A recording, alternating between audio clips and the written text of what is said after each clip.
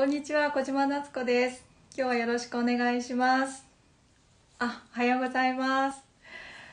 今年初めてのインスタライブ配信をしたいと思います。よろしくお願いします。で今日は、えーと、むくみをすっきりするマッサージとあとリフトアップのマッサージです。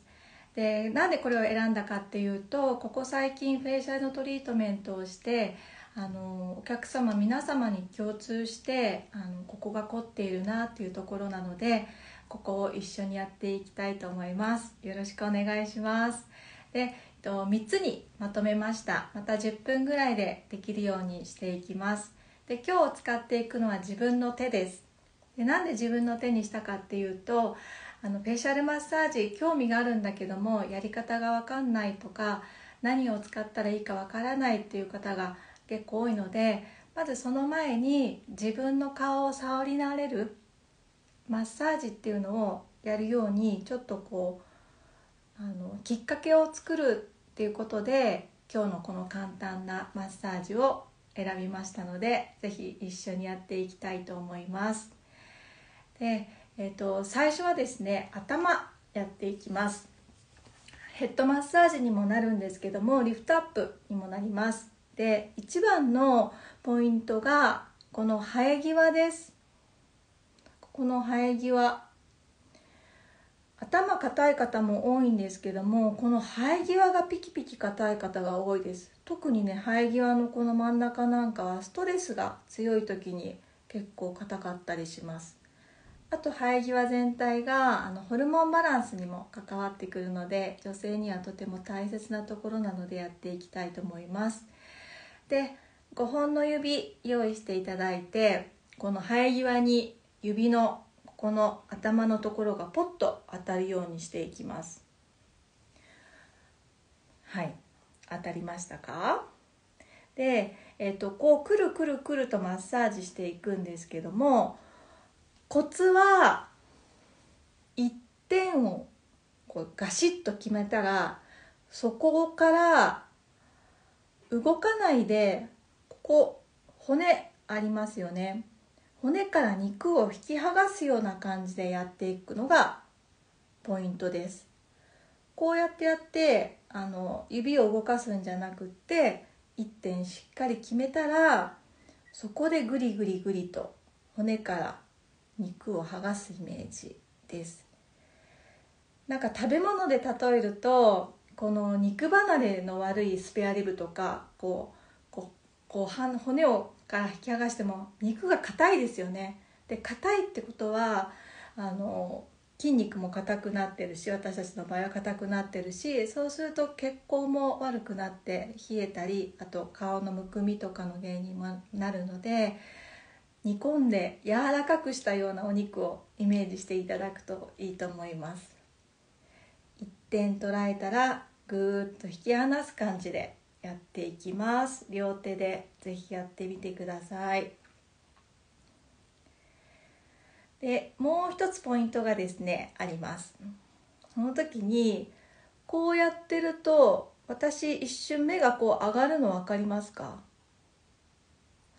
これって上に上げてる時に目が一緒に上がってるのでぱり力加減としてはこう上に行く時に目が上がる時にちょっと力を入れてあげるとほぐれやすくてあありがとうございます。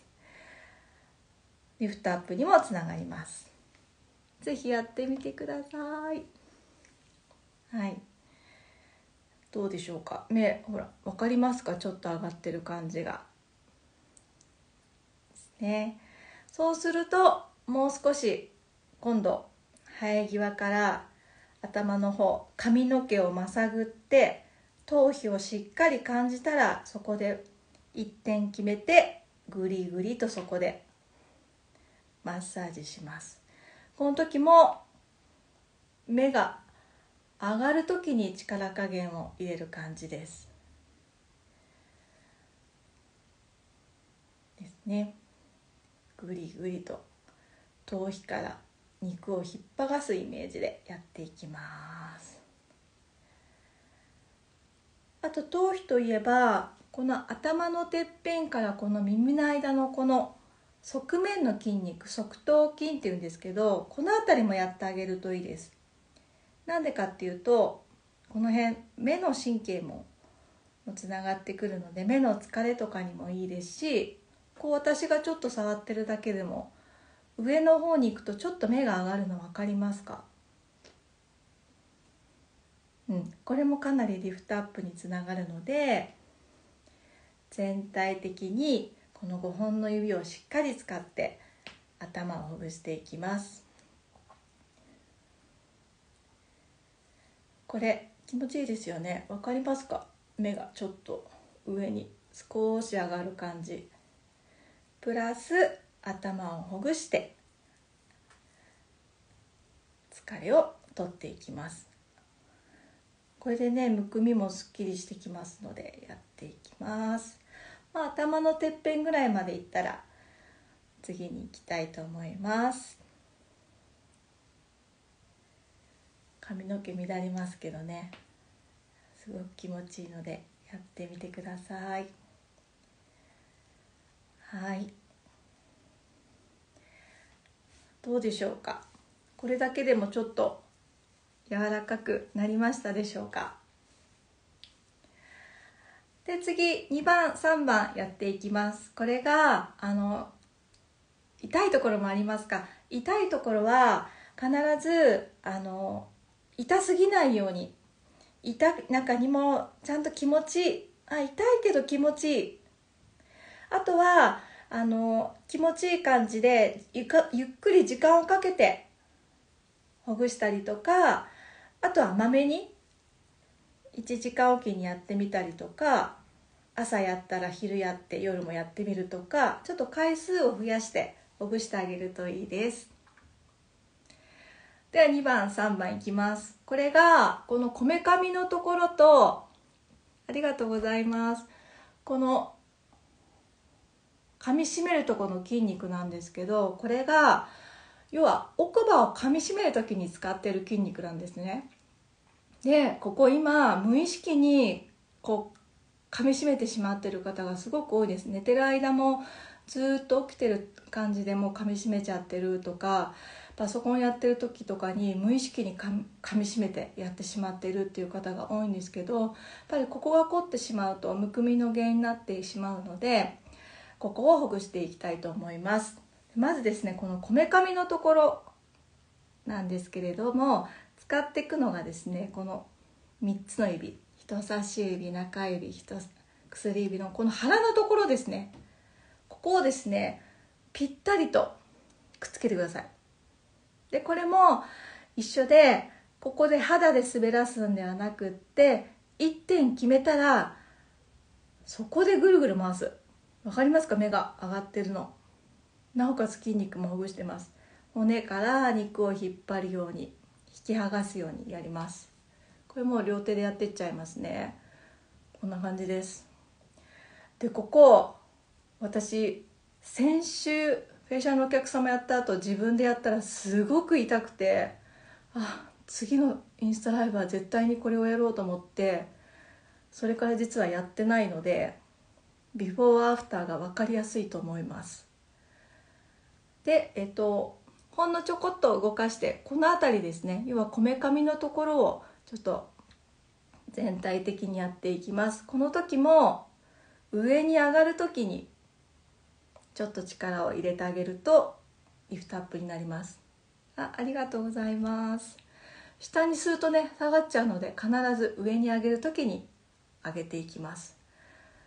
ここ噛みしめが多い人は割と痛いですね。あと目の疲れなんかも取れますのでやっていきます。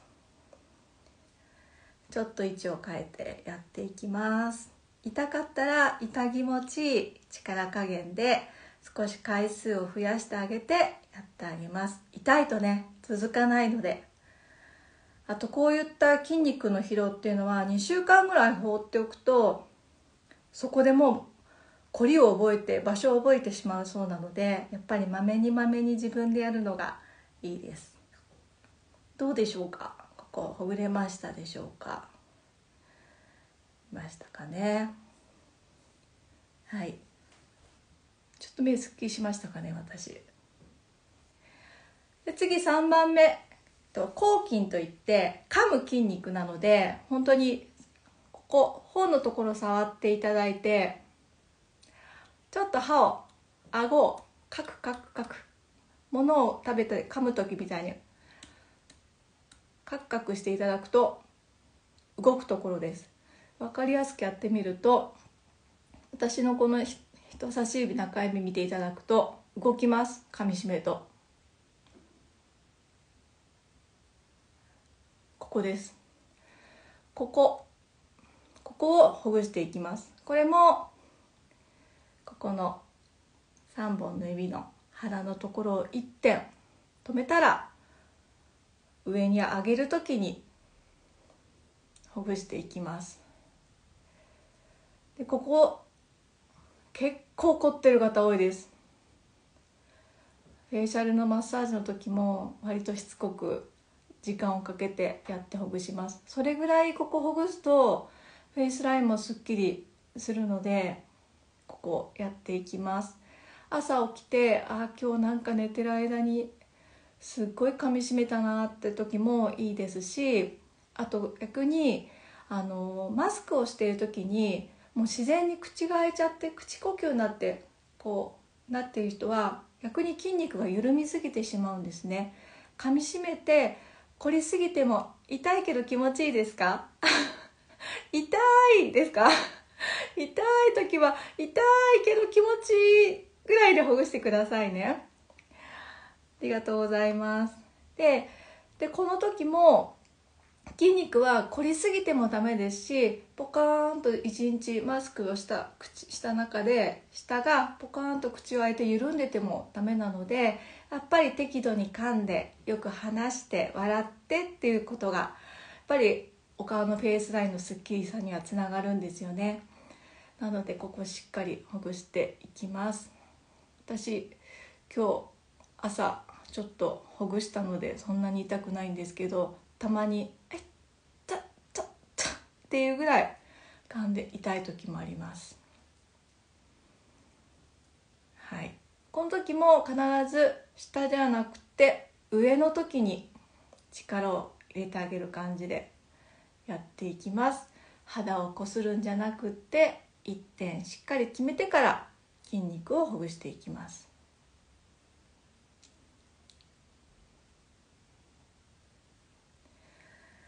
どうでしょうか？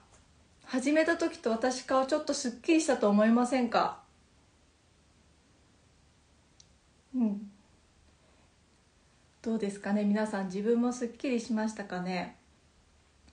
ぱり毎日触っているとあの硬さも分かってくるしあと振り返るきっかけにもなると思うんですね。硬かったらあ昨日の夜噛みしめちゃってたな仕事忙しかったしなとかむくんでたらあそういえば昨日ちょっとしょっぱいもん食べ過ぎたから今日水たくさん飲もうかなとかそういう振り返りにもなりますしあのこれはあのメイクの上からもできます。あのこすって撫でるようなマッサージではないので本当に1点決めてほぐしていくマッサージなのでメイクの上からもできるのでお仕事中ちょっと見えない時あのちょっと人から隠れながらもちょっと片っぽだけやるとか。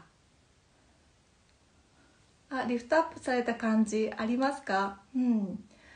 そうなんですよ。1日でだいたいこの辺は5ミリ下がると言われてるので5ミリ上げるイメージ5ミリ以上上げるイメージでそのイメージも大切ですのでちょっとそのリフトアップを楽しみながら続けていただけると嬉しいです。はい。では今日も簡単ではありますがマッサージ鏡見ながらやりましたがすっきりしました。あよかったです。すごい。見たいな。うん。